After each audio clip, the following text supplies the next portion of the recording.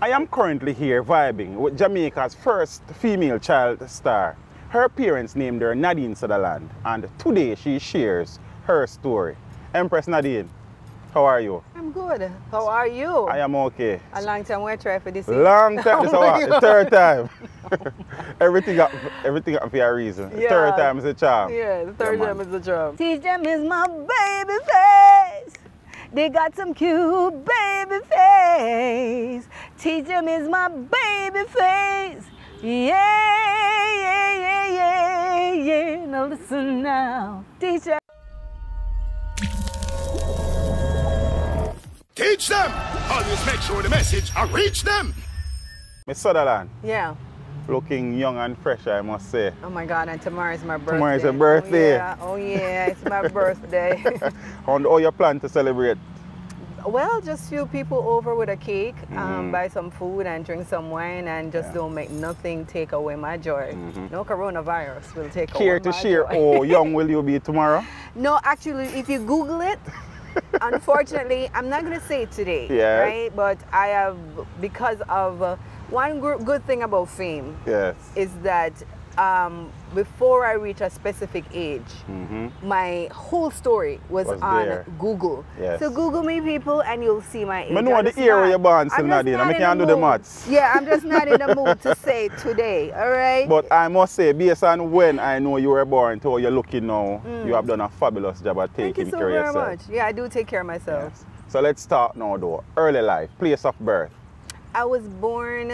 My mother said I was born on in Brentford Avenue. I was born on a Friday. I'm a Friday baby.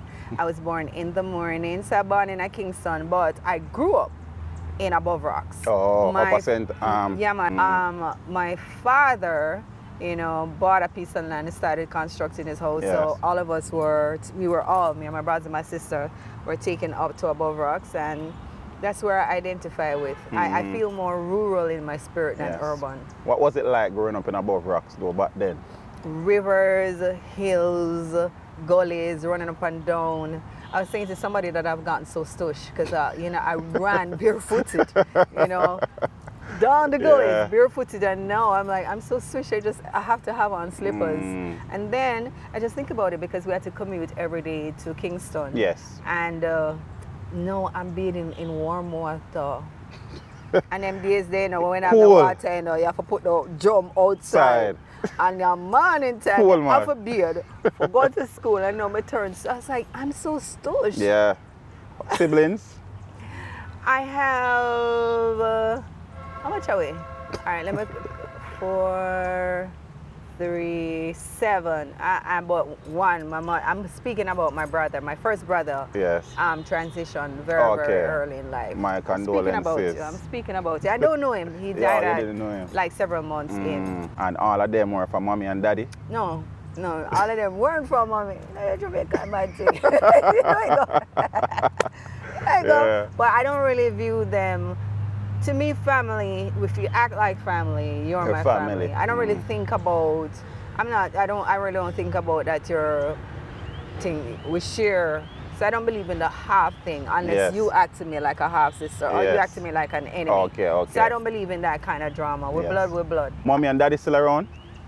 Yes, thank God for that. I'm very, very lucky. Yes. And being that this year is 40 years of my music, Music, career, yes. and mommy and daddy still around, that's one of the blessings for me because daddy and mommy was there from the foundation. My father was always beside me through it Mhm. all. Mommy went to the States when I was 12, Yeah. actually. 40 years ago, my mother went to the States very, very early in my career. Mhm. So my father was always there. Okay, okay. Mm-hmm. And both of them are okay. Both of them are okay, thank God. You know, still there. It's a blessing. It's, it's a real big blessing that you know I've been walking through all these years in my in my of my life with my parents still beside me. Jenny have a joke. She said, "I can't get no man because daddy up on the right side and mommy up on the left side. Everywhere I step in, I'm Yeah. sandwiched between my Mommy parents, even now. Mhm. So, but I'm happy for that because you know that's the team and Yes. that's it. Schooling. Okay, I started Nanny Basic School when we live at Walton. Nanny Basic School. Basic School. then I went to Gem Preparatory School. Yeah. And I went to Mico Practising all age. Yeah. And I, um, I went to St. Andrew High School for, For girls. girls. Then EXED Community College. No, I did go, wait name? Yeah, EXED Community College. Started extramural thinking that I was going to go to University of the West Indies. I Mhm. did PR Yes. probably for three months. I was doing very good. I was getting my B's. And then I started getting back into music, doing background vocals with Gussie, and then it was a big pause. But I have to say, when I went to England, I did get into law school. Yes. Because I did, at Exeter, I got um, AEB law. Mm-hmm, mm-hmm. And when I went to England, you know, I, when I started trying to get a recording deal, and I auditioned for Soul II Soul, I Oh, you audition for Soul II Soul? I got the part, okay? Mm. Don't be tired, listen to me. After Caron Wheeler it was going to be Nadine Sutherland, all right, people? Yeah. Just, just, just take your seat. got into law school there because of AB law, and uh, again, always just like, you know, my, my career just started. Yeah, the Mhm, music, mhm, and mhm. never really like um, done any like tertiary education. And then when I got older and all of that, you know, you did some like a computer courses. I Mhm. decided that I was going for my master's. Yes. And uh, the University of the West Indies had a program, or have, that people, you know, you have to have a 6C. Thank Mhm. God my parents insisted that I had a basic education. Yes. Um, you have to have a 6C and that um, they would uh, allow people who are practitioners in the music Oh, but you had to go through a route. Okay, The okay. route was that you did some um, undergraduate courses, and if you Mm. ace that, they would promote you. Yes. Dependent on that, they would promote you to doing a master's. Okay. I more than aced that because I so wanted to get my degree, and I got that. And then after I got that, I just did my master's and Mm. came out with my master's. Your degree is in what? Business, business administration? no, my degree is in cultural studies. Cultural studies. Mhm. And the second degree is in? no, I didn't just go just, straight. just straight No, through. crowd of people, me not easy enough. Them put me in our master's program and me do it. All right? Don't joke with me. Congratulations no, I didn't get no first on degree. that. I didn't. Yeah. I did undergraduate courses. Okay, okay. And they looked at in terms of uh, if I would be um, capable of just doing a master's, Mhm. and I aced it and go and do my master's, and I got, I did it. Yeah, and that is awesome because when you when you started studying again, when you, when you started doing your masters, quote unquote in Jamaica, you said Nadine was a big woman. Big, big, big woman. I mean, I went, oh, child, when I did the undergrad, I was like the elder in the class. Yeah. when I did the undergraduate um, bachelor's courses, I was the elder in the class, and I must say, I don't know if any of the kids remember me, but they were Mm. so gracious and so nice. I Yes. didn't, you know, they taught me a lot where you was concerned. You know, here I was, irrespective that I was an elder, I was still a youngster when it come on to university Yes, yes, um, yes. stuff, and they were so nice. Miss Sutherland, you must do this, Miss Sutherland, and even, you know, um, I don't even. I hope they remember me. Mhm, mhm, But I had mhm. some incredible young people that was extremely um, wonderful in my undergraduate. I could, you know, I could be their mommy. And my master's program, I had some incredible. We were so tight. Yeah. We were so supportive of each Mm. other and, you know, so invested in each other's success. So I was very lucky where that So was like you enjoyed that period of your life. You know, I love learning. I Mm. enjoy learning. Um, I wanted. Um, well, I don't even know when I'm going to do that PhD because I, Mm. my cousins think I'm weird, and my young cousin thinks that like, Auntie, you love to study. Like, no, not really, but I love to learn. Yes. Like so many things that I've learned about life, about myself as an artist, Yes. about Jamaica, about history, about culture. Mhm. It's just been was a fascinating journey, irrespective that you had to write a paper after. Yes. But in terms of what I learned, in terms of how you speak, I speak, in terms of how we show up in, uh, in the world as Caribbean people, in the world, in, and how we have impacted on each other. It just was a wonderful experience and still is. Awesome. Mm-hmm. But the general population now knows Nadine as a musician, an entertainer. How Mm-hmm. Yeah. did you get involved in this music? I didn't get involved with music. Music involved me. It, it really somewhere from I know myself. Yes. It was just like a part of me, a part of something. You know, when I was younger, I used to. I felt even more like a dancer than a singer. Yes. So I went up myself still and I said, Ray. when I was younger, like as a baby girl, I remember, you probably don't know who's who like me. Mm. You're right. but we used every Sunday, they used to have on TV, like, you know, true, we were very so European mm, indoctrinized. yes. Used to have on TV the Royal Ballet and then mm. Alvin Ailey, and there I was, just like a skinny little girl doing everything. And then I could have done the bashment dance too. poor grandmother never ever like that. Then catch me out the road in front of jukebox or s- in front of sound box, me missing at the house. Where's Yeah. that? And I made that I skank up myself.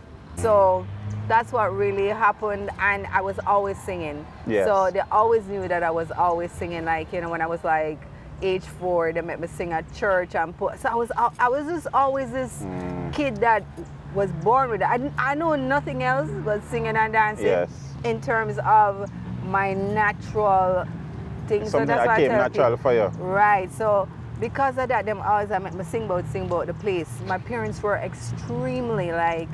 Sometimes she can't sing it up, but you know, you're looking for your little girl can't sing and get few props here and Yes, there. yes. So what happened is that when I went up to Above Rocks to live, there was um, a young man called Horace Martin. I remember very much when he came up, which was very kind of him. He came up the hill and he said to Daddy, you know, say them about a, a, a, a talent contest at all called. TST. Mm. And he just won his quarterfinals. Oh, awesome. Yeah, but he and I used to sing around the community Mhm, when they mhm. had, you know, when I was a little girl. Yes. I was just singing all the, always just singing. It was just like, since I make Nadine enter and everything. So I went and uh, it, it, when he told me, I guess we found out the information. It was time for one of the quarterfinals, Mhm. which was in July. Okay. So- and that was July 1979. 69, right. Mhm. So we went before, I don't know when I auditioned, which month. But I remember going in front of people them down at Tastee and I think I sang Africa we want to go. I sang that come on my black brother and then you know I was like okay then tell me goodbye and they said that wait on and crowd of Mm. people you know so we're very historic and archaic wait on a telegram me not even know anybody do that go to the post office So on a telegram. telegram. I lived, cause remember it was summer holidays. yes, I was July. living down above rocks um, post office every day. I walked down to above rocks post office. You have a telegram for me? Until one day that telegram came and I opened it. You um, you have reached the I Yeah, remember, you have reached the quarterfinals, July quarterfinals for Tastee Talent Contest. So I ran home, waited and show my mommy, she showed daddy. So at that time, we never really, we come to Kingston, you know, but there, you know, it, it's a funny thing, Above Rocks is so close to Kingston, but we're so rural then. It's not like at the Above Mm. Rocks now. Oh my. God. So I'm like a salesman will will come once a week and that little blue dress that you see, you know, In the pictures. right, that little light blue dress was my, the dress mommy bought from me for the salesman to go sing at Tastee Talent Contest, which I happened to win the Yes. quarterfinals, which Mm, meant you won the quarterfinal. I was in the grand finals Mm-hmm. in July 1979, and there I was waiting on that day. Just first form, the first three months at St. of Andrews. St. Andrew High School for Mm. Girls. Just finished past common entrance that same summer. Yes. was really something else because that same summer, what happened is that. I can't remember when I too young, but common entrance had to come out two times because the, they said what it was something like they didn't have the space Oh. and they, they, they, they made access for some kids. And there was a big brouhaha, people cuss up, cuss up. So the second time when they came in the newspaper, like the, I won Tastee Talent Contest the night, and my brother ran up the hill, I never forget Gary, and said, you pass for St. Andrew. And he passed for Boys School. Awesome, So like. I won Tastee and then I passed for St. Andrew. Mm, Good summer. Yeah, it was a great summer. Went to school September. Both off and everybody then laugh off of me. Stood up and go, my name is Nadine and I'm an amateur singer. I'm just pop down the place. Cause everybody start laugh off of me. By December, I win Tastee Oh, yeah, contest. Anyway, And the, the finals that year involve Paul Blake and Yellow the great Man. Yellowman. Horace Martin, yeah, And you manage to emerge victorious by one point. by one point. One point or two points. Yeah. I don't remember. uh, They told me the other day that I won by one or two points. Mm. And uh, um, yeah, I went there and I sang Buckingham Palace. At I Buckingham didn't, Palace. Didn't know if it was about ganja split or what. That's Peter Tosh's Buckingham like, Palace. "Tudum, tum." I know I was doing my Tina Turner impersonation.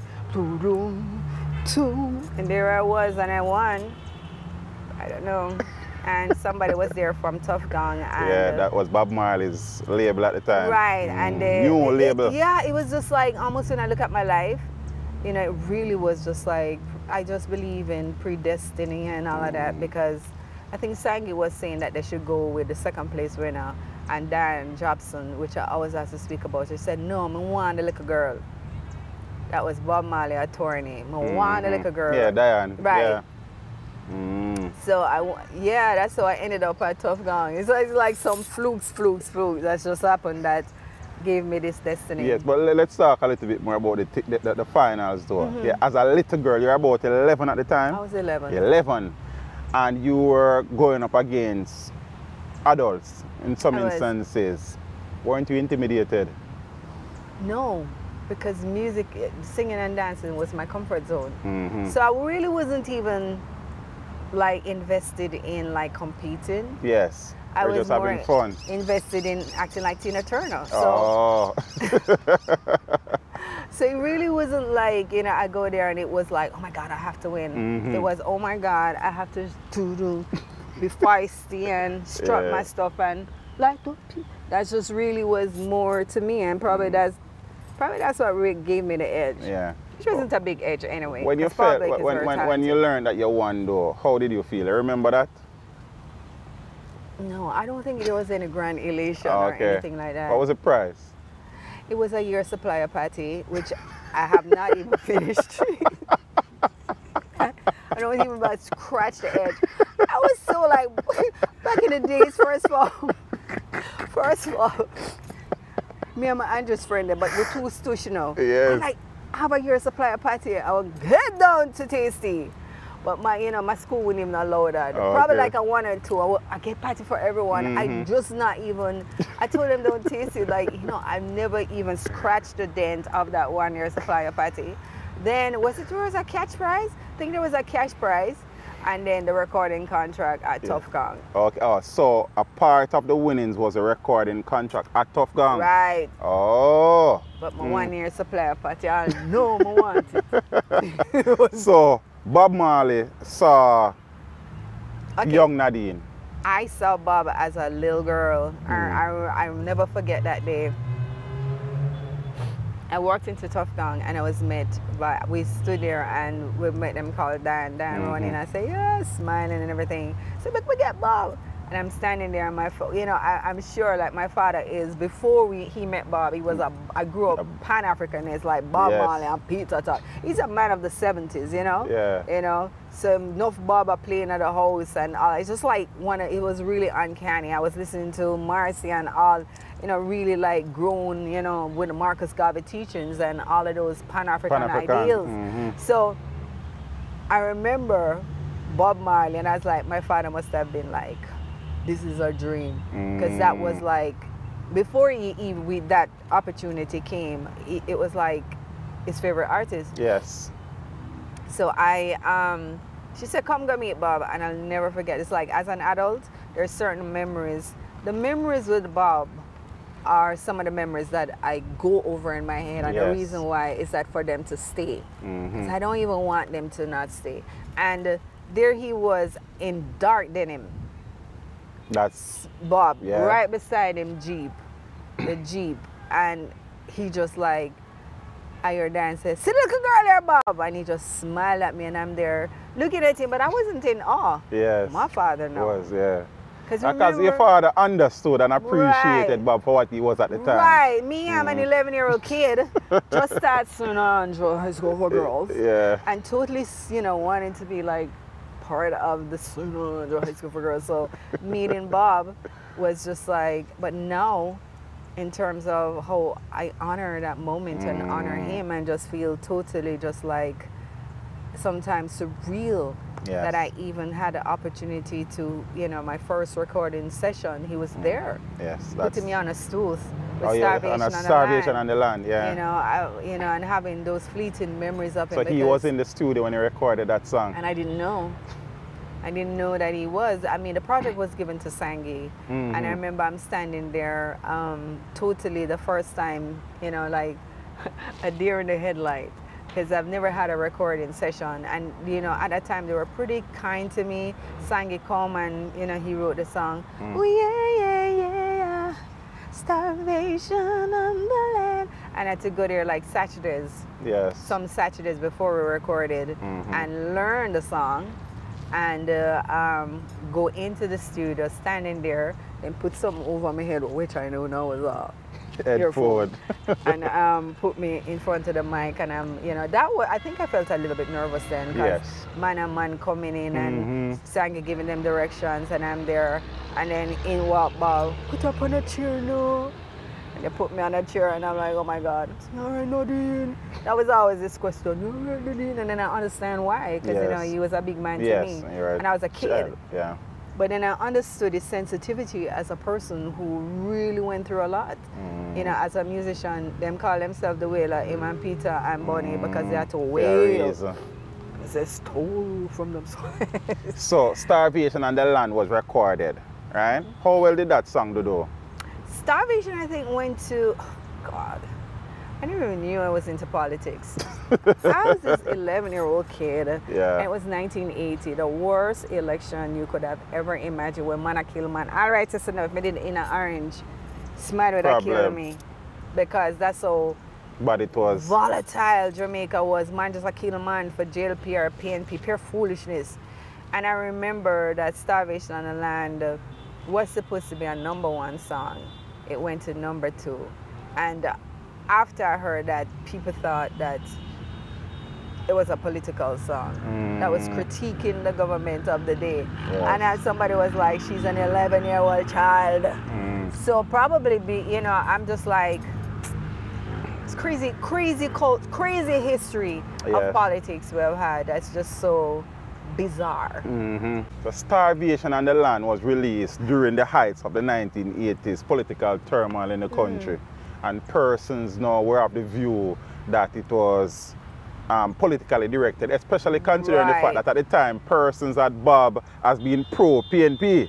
But the funniest thing, Bob is pro PNP and was writing tunes that were basically critiquing Babylon and critiquing everything. Yes. But I don't know what in what regards that, you know, probably people were so I said there was a time that people I think went crazy with this politics thing.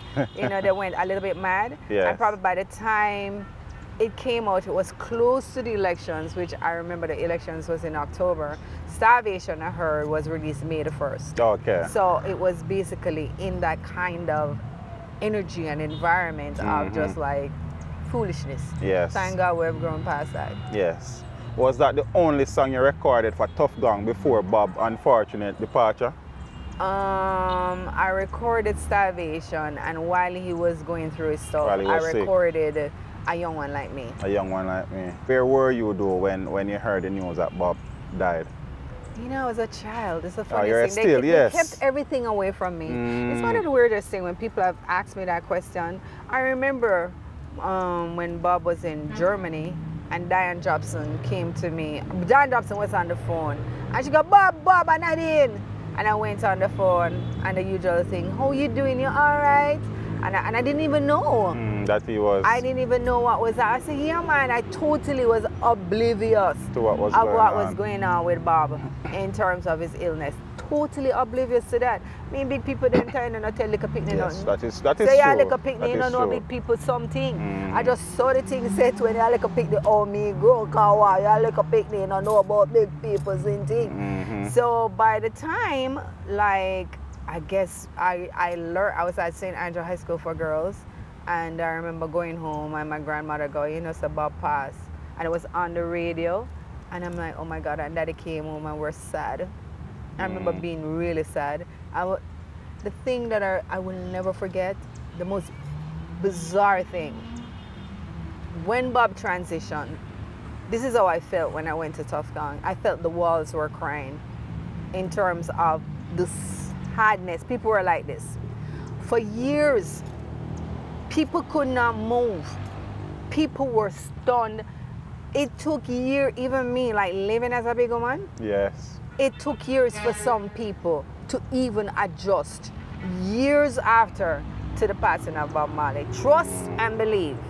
So Mrs. Marley had to take up all of that mess and make it work and try move forward. Yes. And she tried to make it move forward. Like the project that started with my album was finished when she took the rim. She's like, we have to finish this album because Bob wanted this to be done. Yes. And that's what my album, my first album, Nadine Until with me with a straw hat. so that's really what happened yes. from my eyes. So starvation on the land and a young one like me, more than love a piece of both of those tracks. Mm. Well, I can't really get the little girl voice. So yeah, man, give her the big Nadine more, man. All right, a young, a young one like me. There's so many things I'd like to see. Cause I'm growing and knowing and showing the beauty of love in me. And if all the people in this wide, wide world could live in harmony, how wonderful that would be to a young one like me. Okay, that was a young one like me. and I get into starvation mode. Everybody thinks it was a little like little rebel, you know, when I sang starvation. Poor me, never even know what I was saying. I get into the dancing. Oh yeah, yeah, yeah, yeah. Starvation on the land, yeah. So if you can help up your brother money, yeah. Oh yeah, yeah, yeah, yeah. Sleeping children in the park, yeah. Got nowhere to go in the wee hours after dark, yeah. Next day, see them at the bus stop. Ten cents, not going to school, that makes no sense. Still fighting for the rights. No pretense, even cleaning car windows at the stoplights. That's starvation. A long time people are clean. When Oh she my last God! When I sang Starvation, it just began. Oh, When I sang Starvation, it was a new phenomenon yeah. in Jamaica. Or some 40 years ago. 40 Nadine. years ago, it just started happening. Mm. Just started happening. Yeah, so so um, you did those songs before Bob transition. Right. Did you do anything with Bob or the Wailers before he died? No. In terms of touring or anything like that? no, I did shows with the Wailers after Bob After Bob. Because I was part of the Tuff Gong package, so we started. The first thing I did, I remember when they had uh, the first show in Miami. Yes. a memorial show for, for Bob. And it's Ziggy and, you know, the Wailers and the I3. Yes. And I was living my dream because I'm such a wannabe I3. And I'm like, yeah. so I'm like, yes.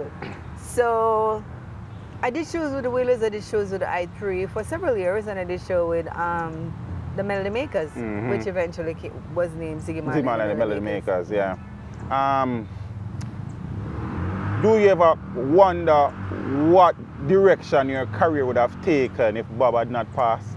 I wonder that every day. I Mm, wonder that every day because I know that he was trying to sign the whole Tuff Gong package. There, there's, there's, there, there are um, stuff online with Bob talking about me, talking about Junior. There's stuff online. Yes. I've read that he was writing that you know there's this like a girl, you know, and he was. I heard he was gonna sign Tuff Gong to must say Polygrammer, one of those stuff, the whole Mhm, thing, and I mhm. was gonna be in that package. So.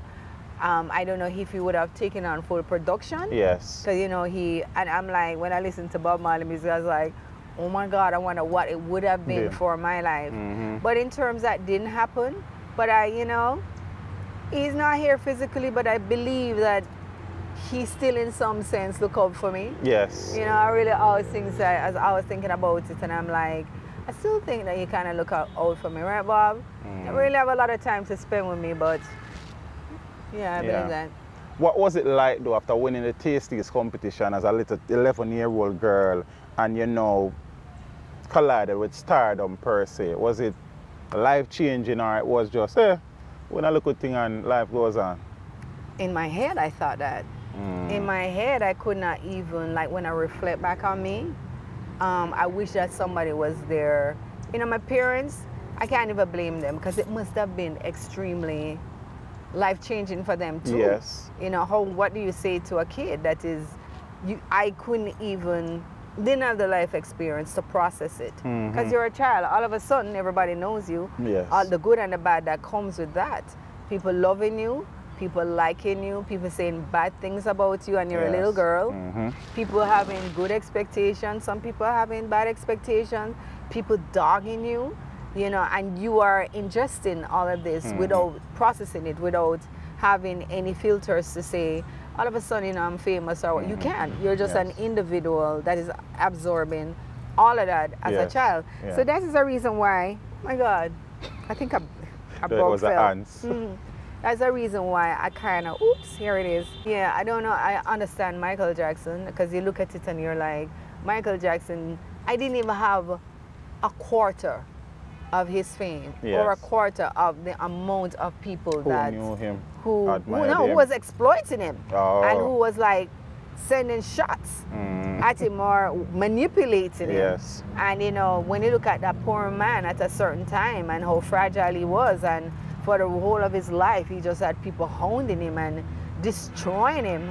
You know, I kind of just feel really bad for Michael Jackson. I still do. And I don't believe he's a child molester at all. Yes. That don't really resonate in my spirit. Yeah. So, um, being a star at that time had its challenges. Reflecting on, Yes. I was just going through it and not understanding it. hmm So, yeah. Was it difficult to balance that and school? Not really, because I never really was doing any touring. You know, so that answer back me right, so I wasn't really doing any major touring. Yes. You know, I was doing a lot of uh, um, local, Local shows. Local shows, yeah. Yeah, so it really was. It's like my life at that point was extremely simple hmm and totally not really exciting. Yes. Unlike what some other people think about my life, it was school, church, um, shows. hmm if I went anywhere, it was my my parents were very Yes. protective. Was my auntie house, and um, at that time, wherever my auntie was, I was allowed to go. But I never really had any. I never really had a grand social life as Mhm. a child. So, mommy and daddy kept you grounded. Very much so, and I'm very happy to hear. Very happy now. Mhm. Then I wasn't happy because I want to go bashment out with my friend them, you know, and I wasn't allowed to a lot of stuff. And you look at it, and I'm like, you know, in terms of, I'm pretty grounded Yes. because of some of the restrictions that were imposed on me. Yes. So I read somewhere that you performed at Bob Memorial. the other day, yeah, Uh, how was that? it was incredible. It was incredible. Yeah, it was an incredible show. Starvation on the Land, a young one like me, those were the early songs. Mhm. When next did Nadine record a song that the masses took on to A song called Until. until? I will be loving you until the sun stops shining. And I was like 15 then they're like, make her sing a love tune. you wrote it? No. No. Never wrote none of the songs. You never wrote none of them? Mm. Then, Yes. then I never, I, um, it was until, that is still a classic. Yes. You still sing it and, you know, so, So until and that song again reintroduced you because it was a couple of years Yeah, since Starvation Right, but- and um, yeah. And then the album was released and. mm, what was the I- name of the album? Until. Oh, the, so that was the title track for the for the album. And then, which I hated, they made me go enter festival with hands and hearts in harmony. Loving when I hate. Why you hate that? I never hated the song. Oh. I just hated entering festival. Oh, okay.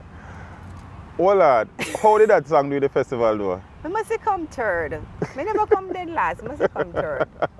Raskabi did win. Yes. And when I check, no, that was Singer Stewart. Raskabi had a nice song that, you know, he, he won. Yeah. It was a very, very good song. Probably if they take it seriously, they wouldn't you know that day. No, Hands on Earth was just not the song to Just win. not the song. I Raskabi's appreciate the honesty. Was the song I to win. appreciate the honesty. you know, Hands on Earth was popular and was popular after. My brothers used to tease me. And Mr. Come, my brother. And then. Yeah, so after that though that day, um, was it difficult for you now to really and truly establish yourself now becoming a young adult into adulthood in the industry? Not really, because I had that track record in Mhm. terms of, but I came back in the, I went to EXED, hmm and again, as I said before, grappling to go to UE, and then I don't know how I ended up at Gussie. Yeah. I Sir don't know how Gussie I ended up in Gussie Clarke, and then became, oh, no, no, I have to talk about Peter, Mm -hmm. that I work with Peter, like, As um, in the Peter Tosh. like the Peter Tosh. Ah, Like, okay. okay, you have to hear the story. People, you gotta hear the story. Peter Tosh, the supposedly dog-eyed Peter Tosh. Stepping razor. Stepping Razor, who everybody afraid of, and is known in history as, you know, dog, before Bounty. Yeah. Before Bounty. that was a cross man. Bounty. yeah. cross, angry, miserable. We had a Peter Tosh, right? And Peter Tosh was, uh, you know, people were watching me and thought I was pretty talented, you Mhm, know. And yes. Peter Tosh went to my father and asked my father if I can be a part of his album, No Nuclear War. Mm. Daddy come and say, Peter Tosh came to me and asked me to go to Peter Tosh house and I'm sitting on as man and man. I want your daughter. I Mm. went into the studio. That's when I was nervous because you know Peter reputation. Yes. Peter reputation and who Peter Tosh was was two different things. Okay. Peter Tosh was the most kindest, most gentlest, most patient person. Here I am. I think I was in six commercial. I'm, I'm in white. That time I wear like white shirt and tie and Malika skirt. You know, six forms out, going, sitting down. Peter Tosh was so kind and he was like loving and he was like sweet and he was like thing there. And then um, if you listen to the song, we don't need no nuclear war. I couldn't even get the harmonies because I was so nervous. I'm like, all right, just make her sing the melody. Yeah. We need a Holocaust. Ooh, Holocaust. And um, that whole nuclear war album, Yes. you hear me on it Mm. singing my heart. So you did more than one track on the album. one- and then, you know, the funny thing, when I started going like to Gussie now, Yes. and um, this time when I was doing background vocals, I wasn't really nervous, so I could sing the harmonies. Because, Mm. Yes. you know, you go country, you sing with, you go church, you go sing the altar, the blood that Jesus shed for me. I mean, I look a picnic, I mean, I hold my harmony good enough. Yeah. Don't joke with me, I hold the alto. Way back. I hold my alto so I can sing harmony. But by the time I went to Gussie now, hmm I became like part of, you know, honing, getting back myself. After Yes. after EXED, after um well going to extramurals. That's when I quit school again. And um started singing if you the song I'm a ragamuffin. Mhm. Yeah, yeah, you hear my voice. You run ting, here and you run things over there. If you listen good, Yes. a lot, lot of shabba, yeah, man, a lot of shabba ranks. A Oh, did whole- backing vocals for Shabba as well. Yeah, because sometimes a lot of a lot of the giants were going to Gussie at the right. time. Just be Mm. like session, session, me, Pam, JC. It was That's me, Pam Pam, Hall. and, Pam Hall, and JC, JC Lodge. Lodge. Yeah, I didn't sing on telephone Lord, lot, Mm, oh, um, okay, telephone, Telephone. And we were just, I was there. Gussie would call me and everything, and I did a lot. And then I started now recording for Gussie, Mhm. like two songs. And then at that time now, Germain and Gussie was at 56. Um, Old, Old Hope Road. Mhm. Bob was at 56 Hope Road. Yes. 56 Old Hope All Road Road, yeah. and I went and um, no, let me go back. I started recording for Gussie, started meeting Erskine Thompson, and uh, everybody started getting signed. And I paid myself. Met some, I met some um, Virgin executive Okay. and heard about the um, Caron Wheeler thing. Mhm. Paid my money to That's England. Soul II Soul now. Right, audition, got the part. Awesome. But Don Taylor and Erskine Thompson hated each other. Don Taylor was Bob's manager at was the time. manager that started managing Jazzy B. Mm. And then um, Erskine Thompson, I don't remember who Erskine was managing, but Erskine was big in the um, thing there. Went there, got the part, and uh, they hated each other, and then started doing some demos, which never worked out. Yes. And then Erskine go, you know, Nadine, go back to Jamaica, and I started singing, doing, um, doing, um, ooh ah, ooh ah, ooh ah, ooh ah. I never wanna fall in love. And then I did, um, Action was a demo actually. Mm-hmm.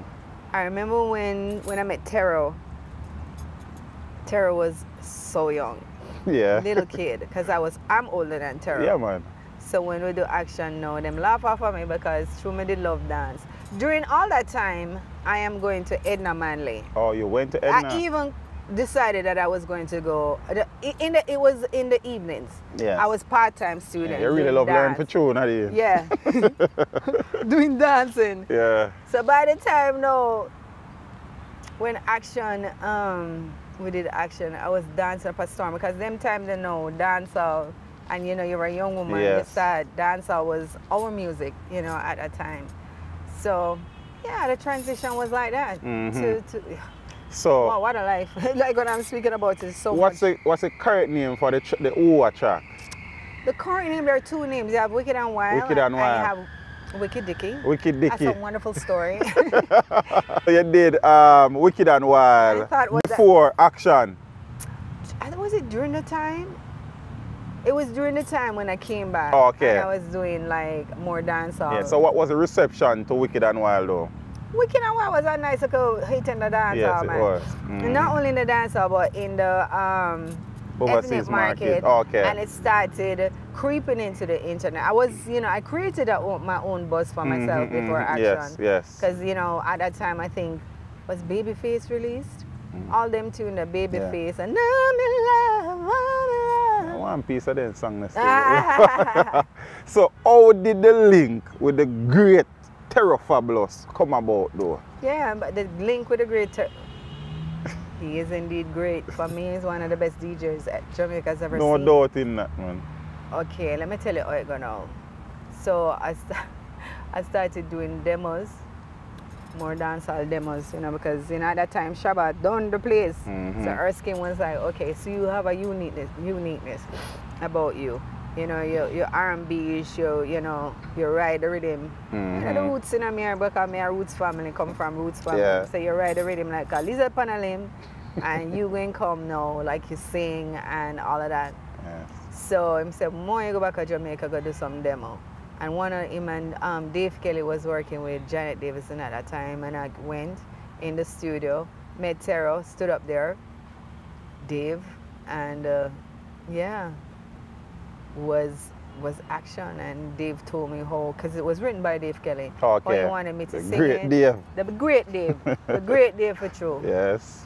And um, when we did action now, and then put me be- put me behind the microphone, and I'm skanking. Any selection, take me say me dance the whole of action. That's why it sounds so bubble. Pop, pop, pop, pop, pop, Yeah. pop, pop, pop, pop. Dave and Terror laughing up because they thought it was. I don't know why they thought it was so funny. Action has lasted for years upon years and has become one of the classics in the industry. What did, what did that song do for Nadine Sutherland? Well, it's still keeping me relevant. it's like sometimes I'm like, like New York, living in New York. They're going to New York. I never lived there. I got a job there.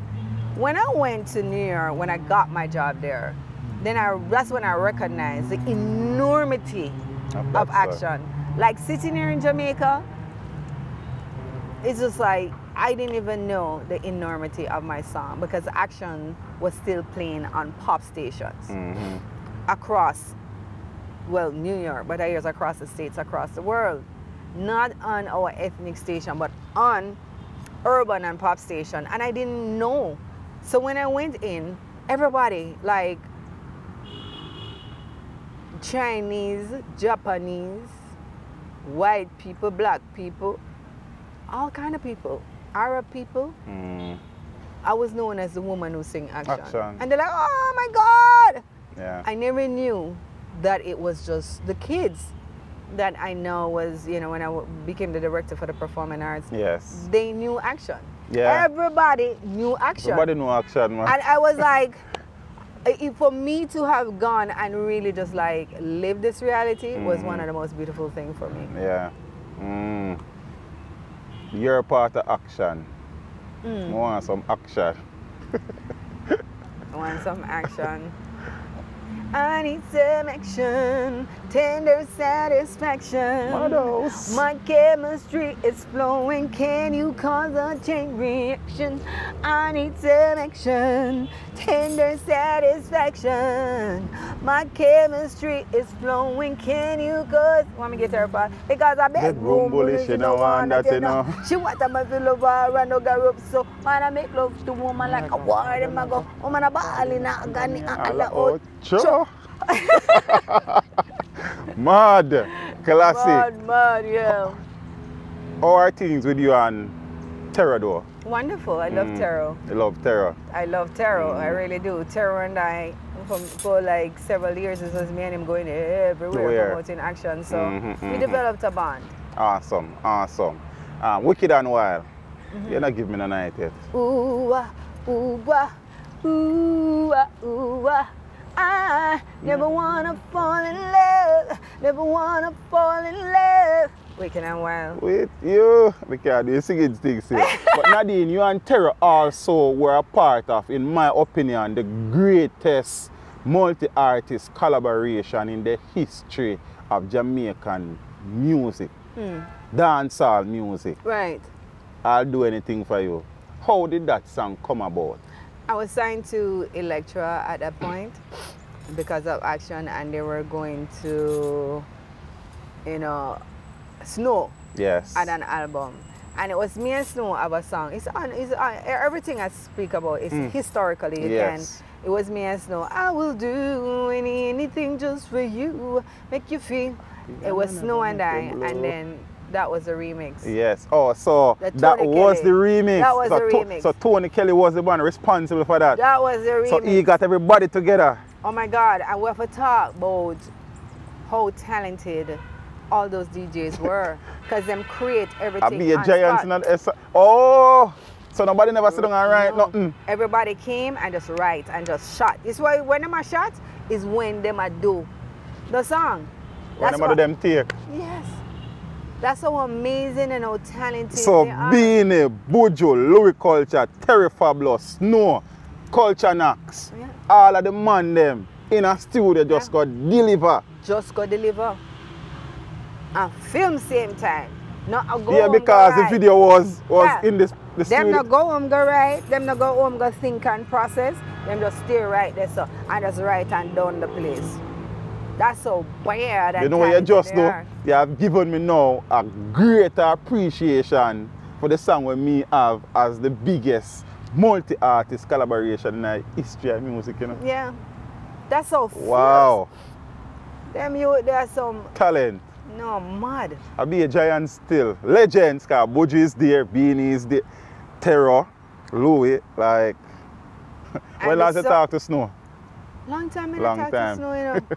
but Snow, I'm happy for Snow. I think Snow had some recent success in the Latin market. Yeah. So you know, I'm happy for him. I think it's in something with Informer. Oh, okay. And you said the original song was a collaboration, a duet with you and Snow. And myself and And what was the title of that song?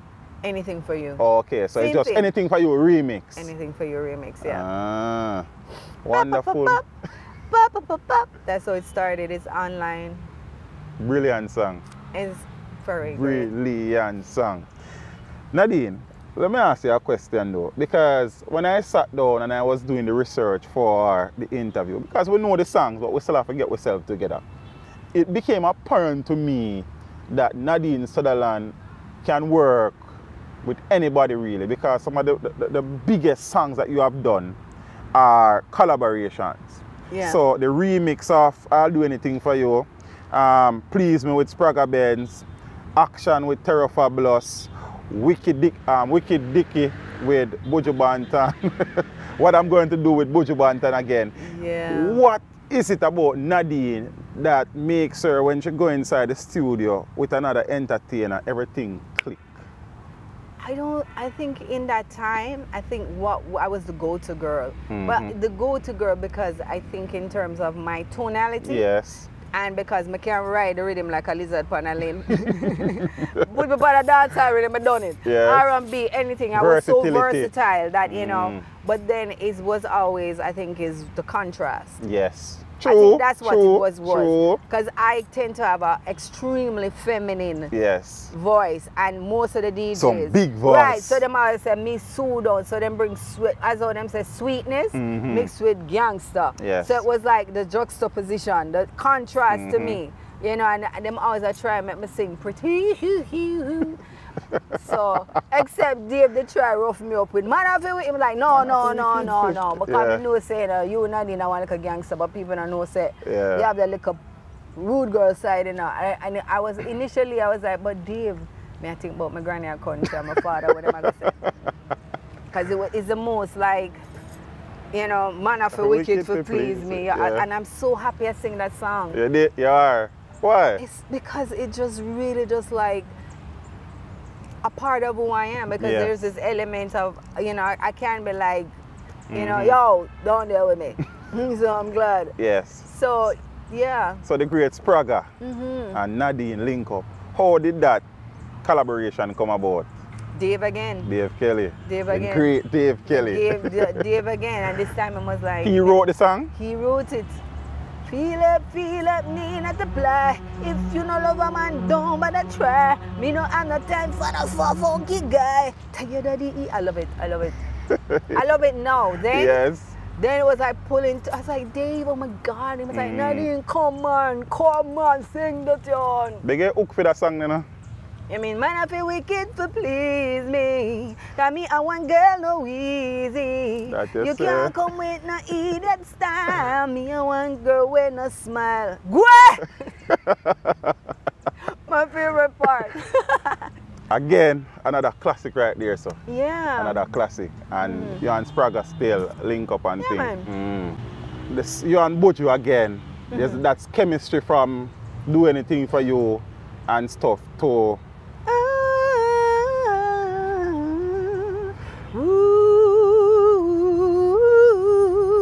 Yeah, I wrote my part and he wrote his part. And it just worked. yes. Yeah, it just worked. It was just a song. To me, I, I love that song. Mhm, mhm, mhm. I love that me and Buju song. So Buju now the remix of of Dick song was Dicky. Dicky Dicky. Dicky Dicky. And mine was Wicked and Wicked Wild. and Wild. OMG. And it was remixed now to Wicked Dicky. Wicked Dicky. What is the, the story behind that collaboration though? you know, because of my sinuses and the leaves. Yes. The story behind that collaboration is a, one of the funniest stories I think in reggae music because I didn't know. I had no idea. The answer my drop Yeah, yeah. I had no idea that the song was remixed. I Oh, you did not know? No, I was in England doing demos. Yeah. And It sound like a um, Donovan remix a song this. uh. me no- is a- Andre tell me, a youth named Andre tell I thought it was Dave and Andre tell me. Oh. So I really don't know whose idea it was. Oh, so there was no consultation. Me say me no know nothing. me no know one thing. But me tell you how me get for know now, which Yeah. is a funniest story. I was in England doing demos, staying um, in London on La- Ladbroke Grove. Mhm. I don't remember my friend take me to a Jamaican um, record store. And I went in there and somebody congratulated me on my number one reggae record. Your number one reggae record. And I'm like, with Buju Banton. I'm like, Yeah. I've, I've never done a song with, and that time, you know, you just, I've never done a song with Buju Banton before. The Mm. man say, the man must think say me really mad, you know. Yeah. I wonder, I hope him alive now and him hear this, that Mm. him can understand. I really did never know. Because me and the man almost are cussing at the thing, you know. Yeah. Because him a tell me, say me do song with Buju Banton, and me I like, I don't do no song with Buju, Mr. T. Yeah. Me I tell you that, boy, cuss over that. Me say, me not do no song with Buju. Yeah. The man says, see your song, yeah? Like him, I say, Yeah. and I can't understand now that he must be like, I would do the girl here, or something. So did you listen to the song in the record store? Or when was it first? The you man Oh. the third, the song on the turntable. I said, see your song, yeah? Vex now with me, you know. And me there, still feeling a little bit. And then I, I just heard pum, pa-dum, pum, pum, and I hear, ooh, ah, ooh, ah, ooh, ah, ooh, ah, ooh, ah, ooh, ah. Then I hear Buju, diggy, diggy, diggy, diggy. I and just I'm like, over it. The yeah, girls are and I'm bad. standing there. That's when I realized that I had the number one song with Buju Banton in London. Thanks, Donovan We Germain. know that about it, man, man. So that was one of them moments where, yeah, say, like, because the music can Nadine. You know, have to do that for the music, you know. You understand? Exactly. Apparently, right? So, what was, did you have a conversation with Buju after that about the song? We have never spoken about it. Or they never perform it together either? The only song Buju and I have ever performed is ah, and that's online. Woo! We never performed. And that was a nice performance, I must say. The chemistry was Mm. Yeah, real. so yeah, Buju never perform what I'm gonna do either. No, that's how we performed. Oh, okay, and yeah, it was yeah, at yeah. Madison Square Garden, and people always Madison think, Square Garden. people think it was cute, thought it was cute Yeah. because it was like, what am I gonna do? Me again, the usual, just Yeah. Being and me being ultra feminine, and it was really a nice performance, and I think it was pretty cool. Mm. It would be nice if you ask Buju about the song there and see what I'm say about it though. Like, well, Wicked Dicky. Yeah. like, what is his view on it? I like, don't even know Buju even I love you. Buju has so much hits, you know. yeah, like yeah, yeah. True, true, true. Such an icon. So I don't even know. I don't even know if he know. I don't even know if he know the story. I was just like, oh really? Like me, no. It was shocking to me. He Yeah. probably was in Jamaica recording. I was in London, basically living half of the time mm-hmm, there. Mm-hmm. So But Nadine, you would have scored classics with action and anything for you and stuff. But probably the signature song for Nadine, when people said Nadine Sutherland, probably the song where I come apart from action. You know, action is Babyface. Babyface, Babyface leads number one, and Yes. I'm in Love leads number two, Mm. and some other songs. are But Story Babyface- behind Babyface. I don't know. All I know is listening to a lot of Whitney Houston and a lot of Mm-hmm. R&B songs, and uh, I don't know how Babyface. I- You know, I make up the story that I was going out with this guy and him gave me this song, but then I don't know if it's old age catching up on me, and I don't remember. Who, but who did they record the song for? Fatis, Fatis Burrell. Fatis Burrell, Mm, mm. and I remember distinctly that Barris was in the. Barris was in the studio. I was directing it. Babyface. You know, this is the tone. I was such a Whitney Houston Yes. fan. Yeah, yeah, yeah, yeah, yeah. Now listen now. Yeah. Will you stop? Me think I see you sing a few pieces of song. you know. So that even trouble you. yeah, but we have to get piece of that. We have so many things in common. Yeah, we are two different people. We just love being around each other. Yeah, we give each other space to grow. Step by step, we are getting stronger. Breath by breath, we are learning about each other. Boy, sweet like syrup. you would have performed all over the world. Yeah. Remember the first time you left Jamaica for music reasons. I remember distinctly the first time I performed was at Bob Marley Memorial. Mhm. In uh, the first time I went to foreign. No, was that the first time I go foreign? As the first time was, a, probably was the first time that I go to. Yes. Was um that Bob Marley thing in Miami, like 1981. Was it in May? Yeah.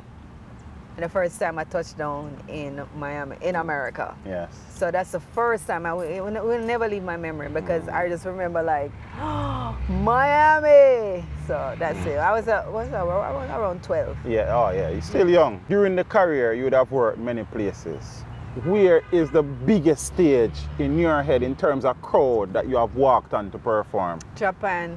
It's when you have Japan span, it's all 30,000 people you have perform Mhm. with, you know? Yes. So Japan was always like draws some massive, Massive crowds. I don't know about now, Yeah. but back in the days when they have Japan Splash or Reggae Sunsplash Japan, Yes. you know, so Massive crowd. Mhm. Mm. Where's your favorite place to perform? Japan.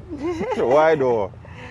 I just always found the um, Japan then. I haven't Yes. been back in years, but I found Japan mystical and beautiful and very Mm. like exotic and you know. Yes. To, I used to, for me, when I you know when I went to Japan, I was very like 1920, and I used to Yeah. go to the Buddhist temple and Yeah. go there and light the incense and pray and all of that. I just found Japan fascinating Mm. each time that I've gone there Yes. and get to see the yakuzas when Yeah. I was younger. I, I, I think I saw a geisha back Mm. way back then. So I just found it, you know. So Japan is your favorite place Yeah. to perform. Nadine, generally speaking with entertainers, I have come to realize that an artist's most successful song, commercially or financially, may not be the artist's favorite song. Mm-hmm. Of all the songs that you have recorded, which song is your favorite? The one where you vibe more time in your quiet time and it in your head and it your, it your meds. I can't really say, you know. Um, I've become over the years a fan of Nadine Sutherland. Mm. I listen to her and I, you know, I'm like, oh girl, you're a good songwriter, you're a good singer. I can't really Yes. say. You have a You song, but- Nadine, man, Mhm. where you sing often, man. One of them where that song there do something for you. Which one? No, me no know. You gotta tell me. None of them. me look, hey, listen, what am I gonna- say listen, which listen, one? which one? Because I'm so confused. Yeah. I'm so confused. Yes. So all the songs you appreciate and Most and of my songs that Mhm. I've, you know, when like when I, I know when I write a song. Yes. than when somebody have written a song for me. I can hear it because Mm. there's a special like Babyface I wrote. I'm in love I part wrote. There's a song that I have named Never Knew. How can I still love you when another woman's having you, baby? I wrote that one. All of my songs them that I write have this. Well, not anymore. Because in my blood, in my blood, Marcus Garvey, in my blood, that's certain, not, you know, more political thing. I know my Mhm. songs that I'm writing as an older woman tend to be more social commentary. Yes. Yeah, um, yeah, so it's More more conscious, centered. more. I can't even say conscious, but you know, my song, my new song, Chatty Chatty, Mhm. released on the Danger Zone. Chatty Yeah. Chatty mouth, blondie. Oh, you a chat no hope on me. All you want could do create anime you feel pretty, but you're so ugly. So it's it's like I really it took such a long time for people to stop seeing me as like the sweetie sweetie singer. Yes. And yes. still I don't even know if that concept of I think I'm I grew into to be a more I, I don't want to use the word radical, just you know, but I am more interested now because there's so much I've lived life, so there's the sweetness, but there's also the little gangster, there's also the little sexy woman, there's also the elder. There's so many different aspects of myself that I Mhm. am free now Yes. To show Yes. and say, yo, if you like me, you like me. If no, I show it artistically, show it in every capacity. It's like me not care right yes or no, because guess what? The variety out there, you know. True. You want choose, you choose. Mhm. You like me, you like me. If you not like me, scoop school away. You don't take no, no, to my life. So you reach this level of assurance as an artist and you just say, you know what, me just gotta do what me have to do. Me can't bother with anybody who not like me, not like me. Yes. Many persons can identify with Nadine from her time as judge on Digital Rising Stars. Right, me do that to don't. Do you remember how that came about, how you, how you come to be a part of the judging panel? I came back to Jamaica um, after being in the States, living in and out in the States for around five years. And uh, they just came to me and asked me. I went on the audition and I got the job. Yes. And then on, we, we Anthony Miller, it was Anthony Miller, AJ Brown, and myself was the first round of judges. Mhm. That was for one year, and then it was replaced with Clyde McKenzie. Yes. And we just totally rocked the place. Mhm. You know, we had great chemistry. It was just awesome. Clyde is now my brother from another mother. Yes. Anthony is my friend. I, I ask him every day if him like me. I still think him don't, don't like me. But we get on. yeah. He might see this, and I'm like, I call him every birthday because him and my father share the same, Same birthday. birthday. Mm. And him always do the same thing. It's so done. Uh, Oh yes, no, it's me. No. Oh yes, yes. You always call me every year. I said yes, I have to because it's my father's birthday, and I always will remember and I love you. And I know you don't like me, but happy birthday. Oh, you stop it.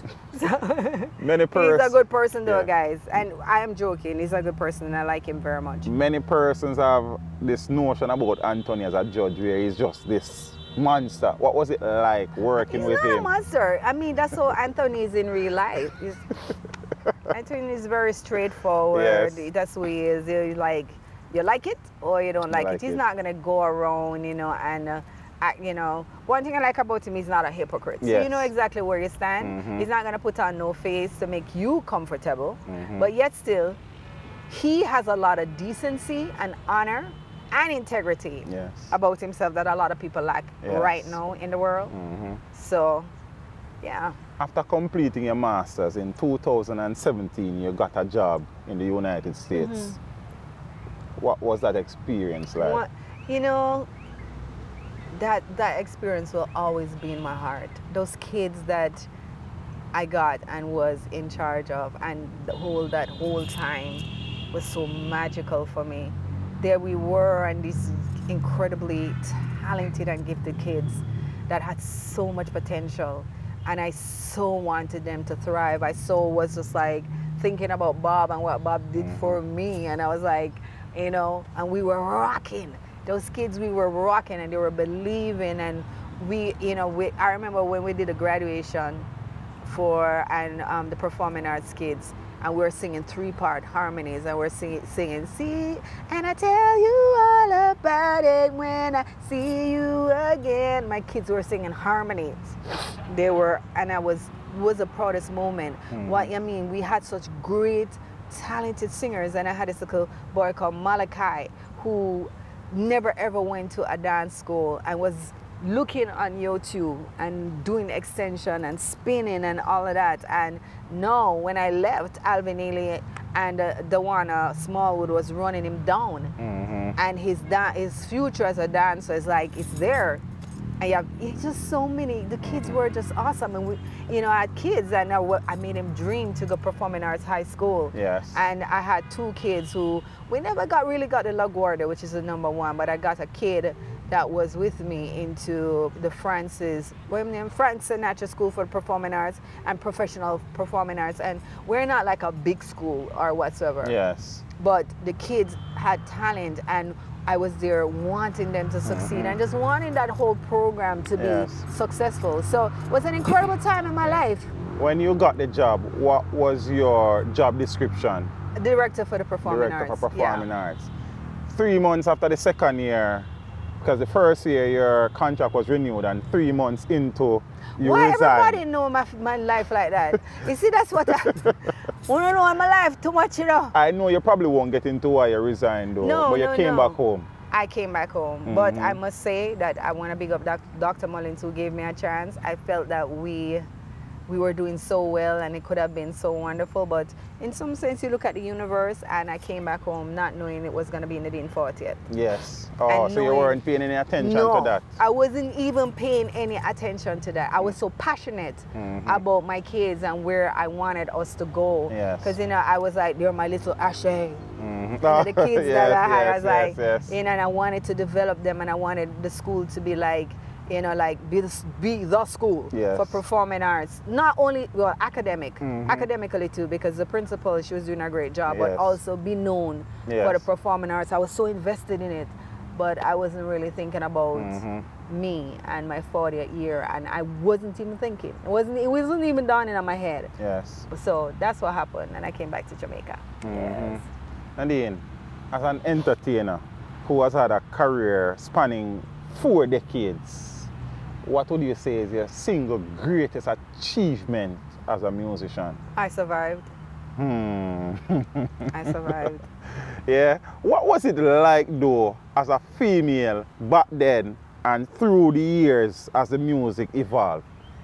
I mean, you know, I, I remain true to Nadine Sutherland Mhm. in every aspect. Whosoever I was showed up, Yeah. you know, and um, sometimes I wish that the journey wasn't easy, but the journey wasn't the hardest. Yeah. Because when I put it in context now, that you can, you know, at this age and stage, you can evaluate and look at what life can bring to people. Mhm. life really I, I I was not sheltered from not experiencing Yes. life the ups and the downs that's what life is all about and i wish somebody told me when i was younger to say whatever you the fairy tale that they constantly project towards you in society that's what this is life is all about it is a lie because life is life it's gonna come with a sweet it's gonna come with a, with the sour, Sour, mhm. it's gonna have some pepper moments Mhm. So, It a go have some salty moments. Yes.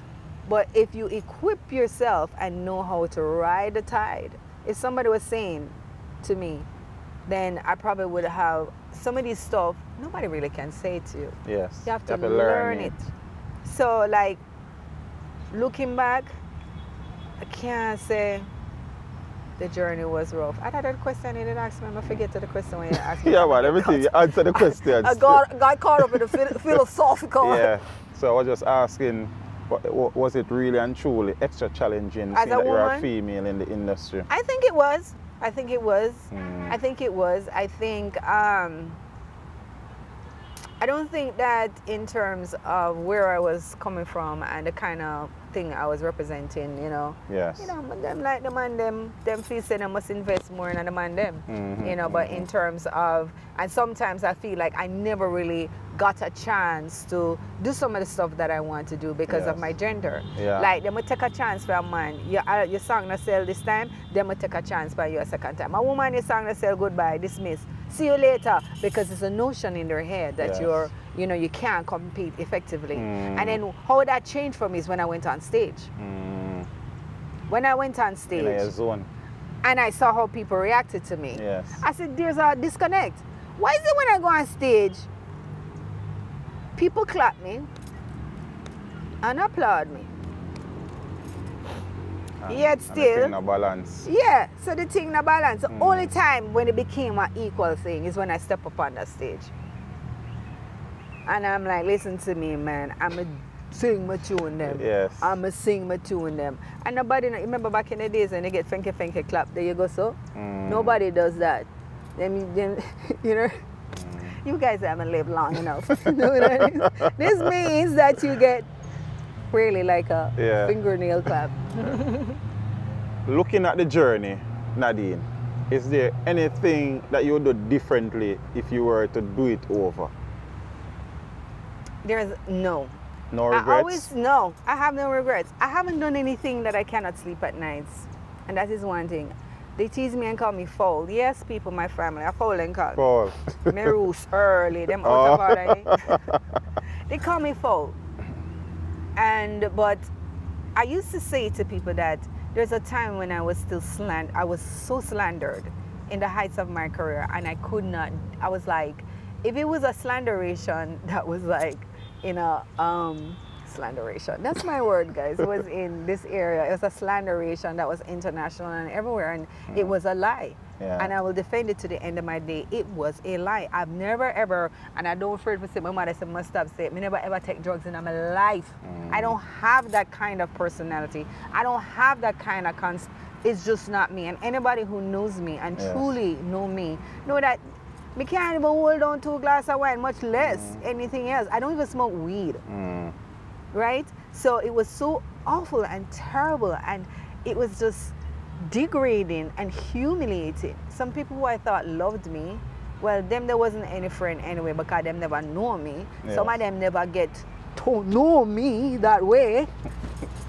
so it was wonderful to them to say, yeah, you're going like say nice, yes, uh, uh, yeah. So a lot of that stuff was happening. People, let's get real some of those that was in the slanderation were sour grapes, okay, bitter sour grapes because they could not slanderize my inside. Let's get real. Mm. So that's what happened till it just, you know, at the time Whitney Houston was Yes, doing, doing her stuff and I guess they needed a Jamaican equation and what happened was that it kind of was just like because it was so much I just you know I, I allowed it to get to me for a while but then I always say I regret that I allowed it. But if that didn't happen I would not have found my strength Yes. and my voice again and stand strong in my truth and Mm-hmm. say this didn't happen to you this like and it made me strong. Because I'm like you want to think that way about me? Screw you. And I'm going about my business. After that hmm, she got a master's. She got a director for the performing arts. She's still doing her hits have hits in England going around look like I'm younger at my age and stage of my life so guess what all of the haters I shut you up Mm, mm, mm. Scooby, Galang, goodbye. Nadine, every artist whether before they enter the industry or during their time in the music, have goals in mind and targets that they want to attain. Is there anything that you haven't achieved as an entertainer? Yeah, yet? I want more money. Straight up. I want to get paid. Yes. I haven't suffered. I mean, I have my, you know, I've Yes. done relatively okay. Mhm. Um, I'm not on the road begging anyone, but I think that financially, I really just want some, you know, more. I think what I have done in the industry, I'm deserving to get paid for Mm. my performances right now. I'm putting out new songs, and I want to get paid.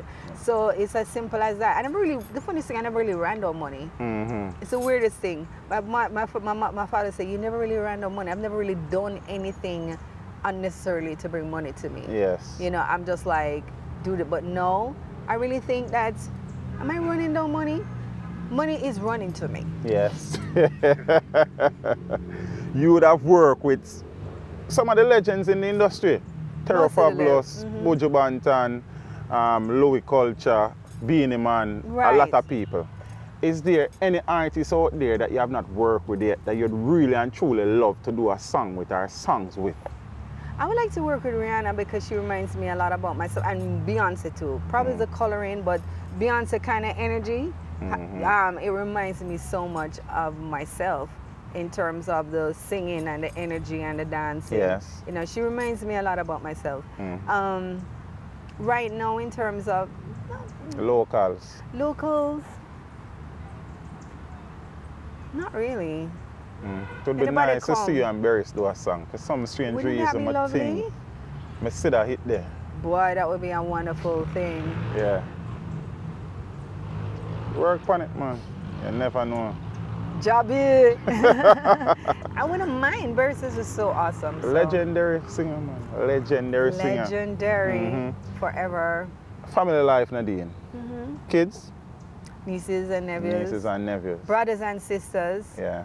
I, I grew all of them. You if you ask them. them, I'm right now, I'm like the mother of my family. Yeah.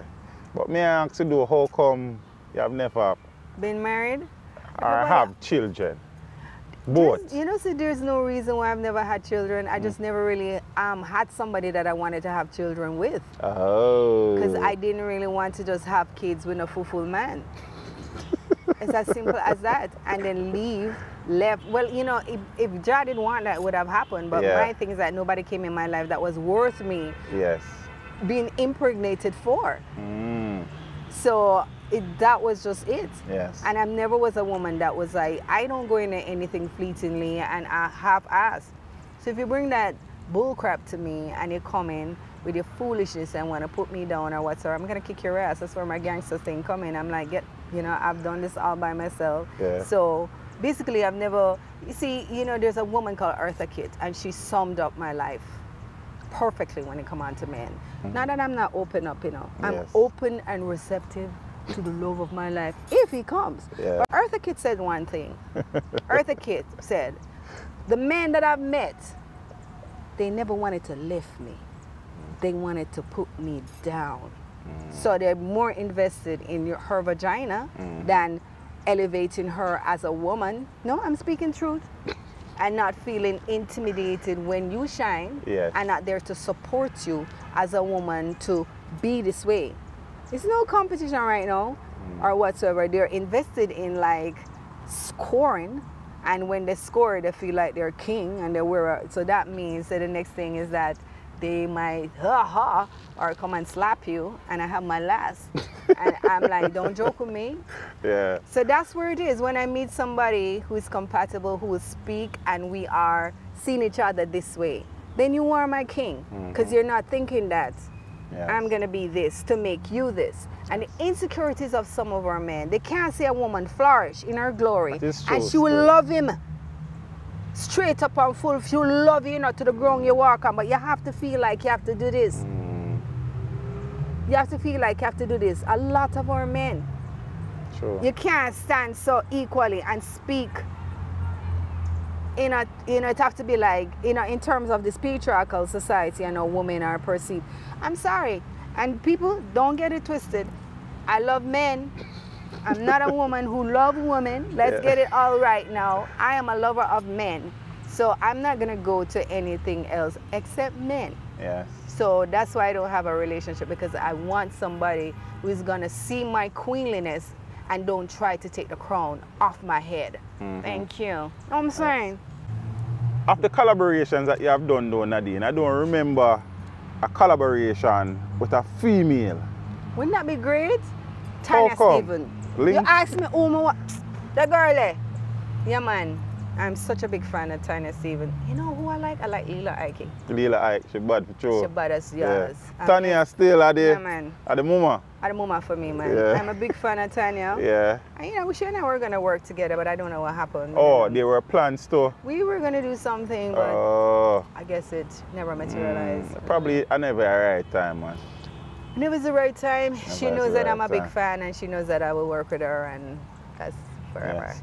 If it was a music though, apart I know that you are now qualified and stuff and you would have done some work outside. But if it was a music, what would Nadine Sutherland be doing in terms of Um, a career? You know, I really don't have any idea. Like the funniest thing I said to somebody, if you put me to do anything, I'll do it, and Mm. I've proven that to myself. Yeah. I'm not gonna say I'm gonna be a surgeon because I'm not qualified, but if you put me something and you say do it, that is one quality that I have as a person. That's what made me successful in academia. Because you put me in something, I am not gonna fail. You're going to excel. I'm gonna go, I'm gonna go through, I'm gonna learn, I'm going to do the best, I'm gonna deliver at the time you say I must deliver. And uh, the only thing now I'm balanced because my masters, I used to go not eating, and that was a wrong thing for me to do in terms of how I went hard. Because Yeah. I didn't have to go so hard. But I really just was like invested in it and all of that. But anything you put me to do. So I really can't say what I would what I would have done. But all I know is that anything that I will I will do, it will be Yes, done properly. passionately and properly. You celebrated your 40th year. Celebrating. Cele- uh, you're celebrating your 40th year in the industry. What are some of the events or things that have surrounded said celebration? All right, so I want to have an, um, I can't even say because coronavirus Yes. has totally just made everybody, uh, we're planning something. I'm planning something. I don't want to say it Mm. Yes. because the future right now seem a little bit, Mm-hmm. a little bit, we can't even make plans because, you know, so many shows. And right now, with my shows, I don't even know what's going to happen in the next month. Yes. So we're just like taking a pause, riding this tide, not really saying anything because it has totally ceased a lot of stuff that was in the machinery Yeah. and planning. So What has Nadine Sutherland been up to recently? new songs. New Chatty. Chatty is one, Ain't No Sunshine is one. I'm working with Danger Zone Music. Mm-hmm. I'm trying to finish the song, this album with Stone Love. I, you know, I totally am dedicating and coming doing shows Mm-hmm. back to the music and just like re, well not revamping, being the truth of who I am right now. I don't think anybody's in my lane Yes. in terms of my age, my stage, who I am, the kind of personality that I am, and my lifestyle. Yes. Nobody not really in my lane, and I'm very happy. I've never was a competitive person though. Mhm. So just doing Nadine Sutherland, doing me, being my authentic self, trying to deliver that to my fans, um, trying to deliver my age and stage without apology. I don't want to be a mama young gal. Don't want to be like that. Yes. Quite happy with my, happy that I still am fit. Happy that my mind is where it's at. Yes. Happy that I wear, I think that every woman has a crown on her head, so we're not competing. Yes. And just like going out there and doing what I'm doing. The album has it been named? Rory, Rory, Rory, I will promote this. No. No. No, not yet. No, not yet. And I probably do. I don't know. Um, we're talking. I'm. T- I'm speaking with Danger Zone Yes. right now about our project. So just a lot, lot of music to be coming out. Nadine Sylvina Kruger. A cougar? Yeah. Actually, no. But you remember in that song, I said, song, yeah. I said, I am not a cougar.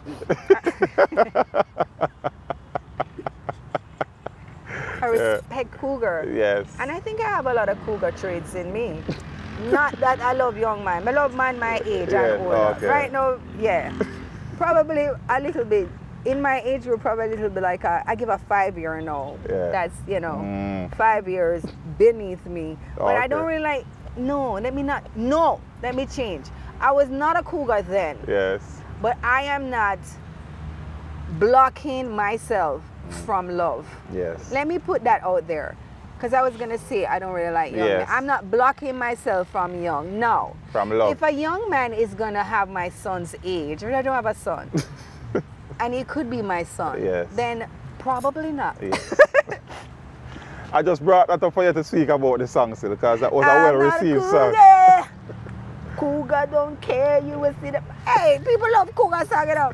Yeah, but it, it took out the street. So for the persons out there though, Nadine, who wants to get in touch with you, whether it is for bookings, whether it is for dub plates, whatever it is, um, how do they go about doing that? Well, you just write me on Instagram. You write me on my fan page, Nadine. I answer. And I know John John's booking is doing my bookings now. That's Shelly Coran. Yes. It's your number is on my Instagram page. And uh, I'm getting management together right now because I want to step out differently. I want to really step out like a team because I have projects coming out. My new video is coming out, Chatty Chatty. Yeah. That is coming out. I have a lot of new stuff coming Mhm. out. So write me on my page, get in touch with Shelly. As I said before, write me now. But I hope that in the next like two to three months, Months, my yes. management structure and all of the structures that I'm trying to get in place now Mhm. will be in place. Yes. And for the persons out there who want to get the music, where would they go to get stuff from Nadine? Aside from YouTube, I mean, where you going to make Uh, money from? iTunes, uh, Spotify, Okay, so all the digital all the platforms. digital platforms Mm. that I'm getting myself or more organized now because it's not like back in the days and then like you know I spent a lot of years studying Mhm. and then I'm like you know so I'm getting myself organized coming I can't say coming out back because I was never out of it I was always doing performances here and there but in terms of videos a lot of people haven't seen a video from me in a long while and I've seen a lot of stuff they've seen performances I did the Tarrus Riley performance um, in December, and I just did the Bob Marley. Those two Yes. high profile. So they're seeing the performances, and yeah, we're doing our stuff. Empress Nadine, first I and love that Empress. First and foremost, from the perspective of me being an educator, I must say congratulations in attaining your masters. Being at the age that you were, you know, some Mm. persons at that time would say, you know, I'm done with that school thing and that school thing and on my own. Congratulations Thank on that. you. Really admire that.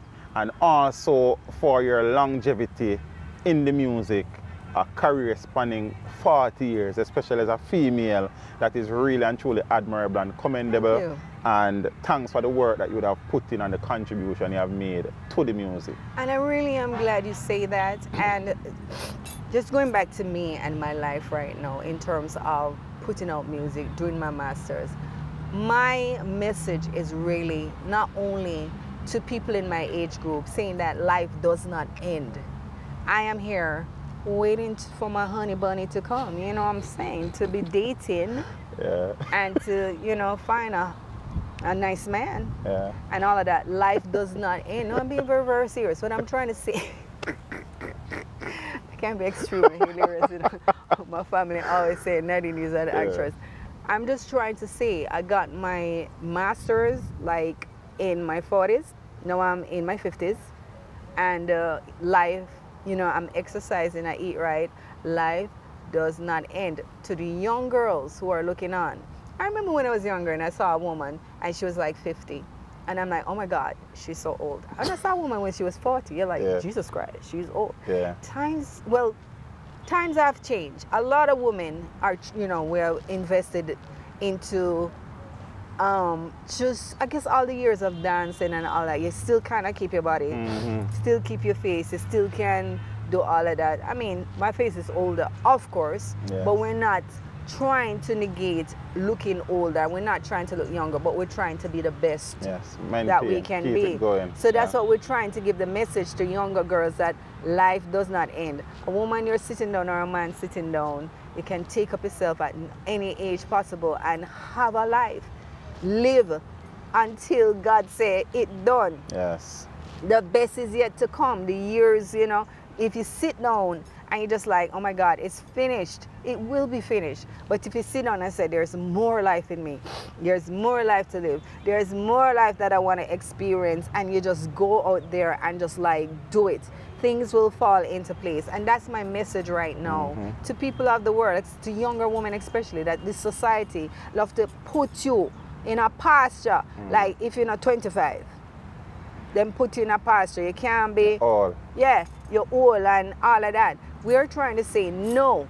And you hear some young girls and you know they call me like she old, she old. Do I look like I feel bad that you call me old? What is bad to be? I am old. Hello, I'm not 25. I am okay. That's not an insult. If you think I'm old, because when some people think, some people still call me baby because they're older than me. If you think I'm old, that's not an insult. Yeah. So stop and get over yourself now in thinking that you know she old or whatever or my age. That's your problem, honey child. It's not mine.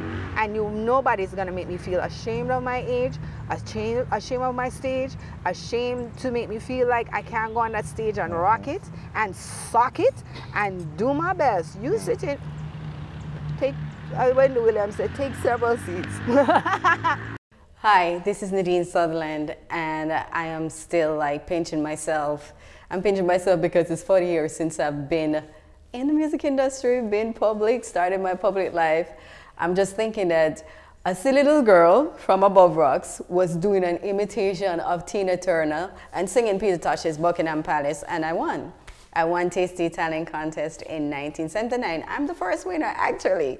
And to see that after that, the Cinderella life started, I was introduced to Bob Marley, and through his vision, I was able to do my first song, Starvation on the Land. And here I am, 40 years after. I started background vocals shops, singing with the great Peter Tosh on his Grammy Award album, No Nuclear War. Sometimes I still pinch myself. Royalties, royalties that I've been able to work with you know, going through and having action, not a bag of mouth, being a judge on Rising Stars, um, being the director for the performing arts for the Challenge Charter Group. So many things and so many adventures, so many songs that I've done that you have appreciated and you have loved.